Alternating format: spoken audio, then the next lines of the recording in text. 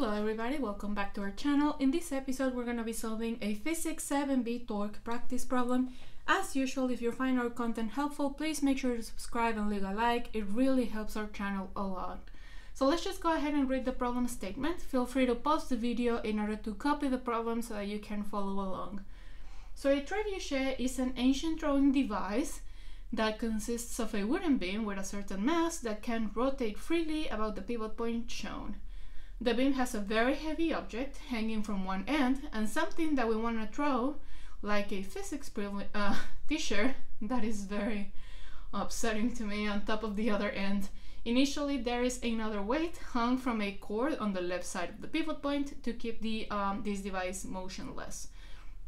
So the first thing that we have to do is uh, we have a sketch of a wooden beam, which is just a rectangle. Uh, we have to draw the forces on the beam due to the two hanging masses, and then we have to decide how big the other forces must be and draw those force vectors on the beam also.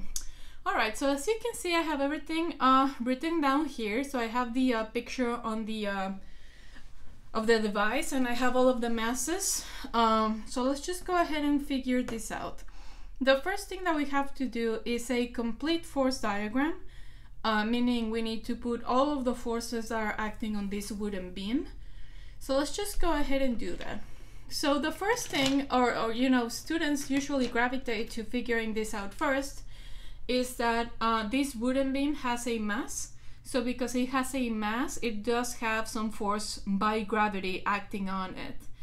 And because we can assume that this wooden beam uh, has a you know, continuous density, we're just gonna go ahead and put this at the very center of our drawing. Now, um, let's just go ahead and figure the number out. So force by gravity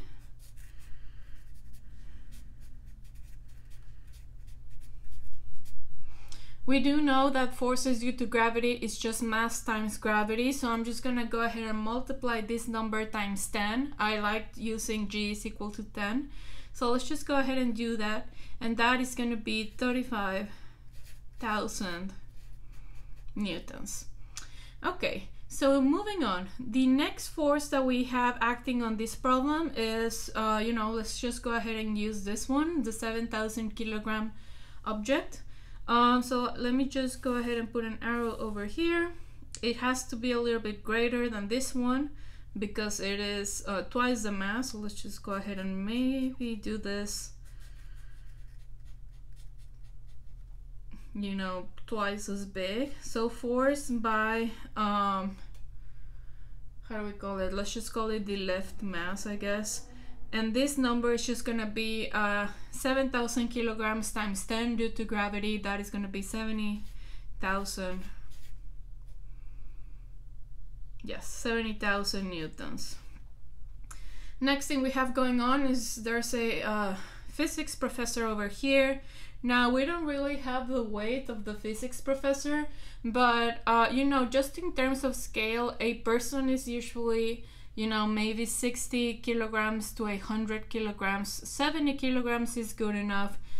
Uh, it doesn't really matter because I don't need to give it a number. What I'm trying to say is that 70 to 100 kilograms compared to this mass right here, which is the smallest of the masses that I have right here, you should just have a very small arrow right here. Because even if it's 60 kilograms 100 kilograms it's still gonna be a super super tiny arrow in comparison to this too. So I don't have a number but I'm just trying to scale things here. That's what I'm trying to do. Uh, now we have a gigantic mass over here so this mass should be bigger than the other ones. So let's just make it big And this mass, uh, I'm just gonna call it force by right mass. So it's just this number multiplied times gravity, which is 10. So this is 350,000. Okay, so at this point I have all of my quote-unquote obvious forces. However, I am missing one force because when you think about it, this device is not moving and it is not rotating. So the fact that the device is not moving this means that your net force on the wooden beam is equal to zero. And the fact that this device is not rotating around the pivot point means that your net torque is equal to zero. So let's just go ahead and um, just think about this for a second. So you have four forces and all of them are going down. Is this gonna cancel out? Is this gonna add up to zero just by themselves? No, four forces going down are just not gonna add up to zero. You need at least one force going up, right? So, yes, so we're missing one force, and that would be the force at the pivot point. It has to add up to all of these four forces. So, in terms of, you know, a relative magnitude, we need it to be uh, kind of big. We need a big force over here.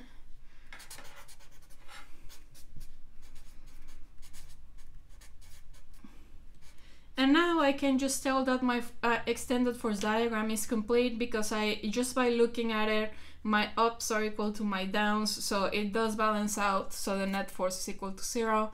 So this is gonna be a complete extended force diagram. Now, typically an extended force diagram, in order to have a full answer, you need forces and you need distances.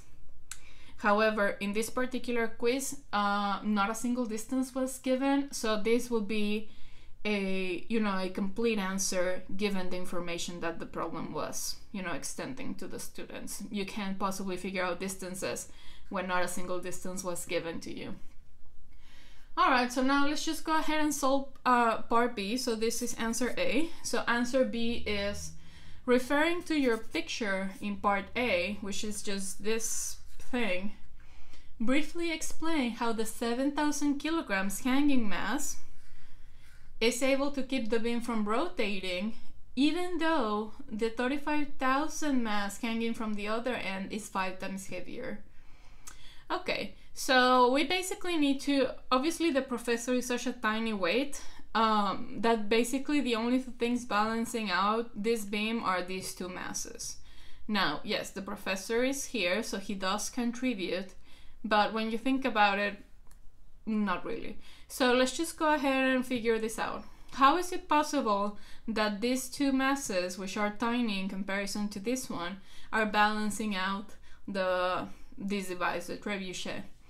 Well, I think that the picture kind of tells you the answer. Uh, the, the construction of this device is done such that that this distance is way smaller than this distance over here.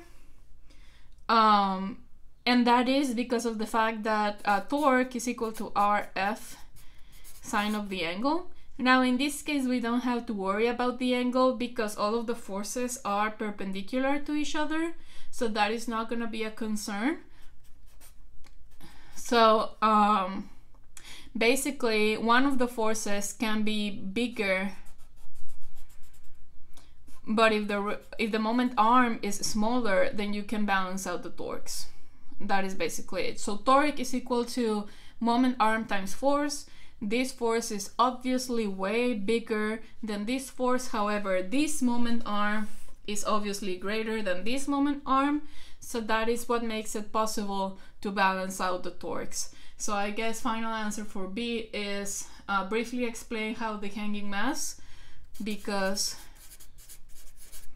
R to the uh, left mass is greater than r to the right mass. So even if force left mass is smaller than force to the right mass, torques still balance out.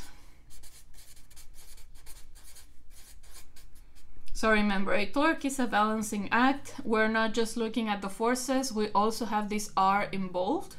So that was basically it. So part C, when it is time to throw the teacher, you must cut the cord holding uh, the 7,000 kilogram mass. What is the direction of the angular momentum vector of the beam? Okay, so basically you cut this cord, this mass disappears, everything here changes, and the professor just basically just goes away like this, right? Um, so let's just go ahead and see what happens in terms of physics. So in terms of physics, what you are doing is you're cutting this. So this does not exist anymore. So now basically uh, you used to have your torques balanced. So now for part C, your torques are not balanced anymore. But we just have to figure out the direction of that imbalance. So uh, it, it they used to be balanced because you had two torques going out of the page. So you used to have this was going out of the page, this was going out of the page just by using your right hand rule. This was going into the page by using your um, oh these two these three oh I'm sorry. So you have three torques going out of the page, this one, this one, and this one, and you have one torque going um, into the page. So this one. When you cut this one out of the equation, you have a 2 versus 1 situation, but you know that these torques are going to be unbalanced, right? Because you needed this in order for them to be balanced. So now they're going to be unbalanced, and now that this one is the greater torque, your torques are going to be unbalanced in the direction of um, of this torque or, or the torque that this uh, force is exerting. So the torques are going to be unbalanced going into the um, into the the page so the torque net the direction is into the page. But now the question is asking us what is the uh, direction of the angular momentum vector not the uh, net torque vector? So let's just go ahead and review our equations. So this is an equation that we know. Delta L is equal to net torque delta T, and delta L, of course, being final minus initial. In this case, initial is equal to zero because nothing was moving and then suddenly this breaks and something happens. So for this particular problem, we had LF is equal to net torque times delta T delta t is not a vector, so so delta t is not really gonna put any direction on LF. The direction of LF is going to be equal to the direction of the net torque. So because our net torque is unbalanced into the page, our angular momentum vector is going to be unbalanced into the page just by looking at the equation. So your LF into the page. And there we go. So this is the final answer and this basically solves the entire quiz. I hope that you found this video helpful. Again, if you're finding this content helpful, please leave a like and subscribe. Um, it helps this channel. See you guys on the next video.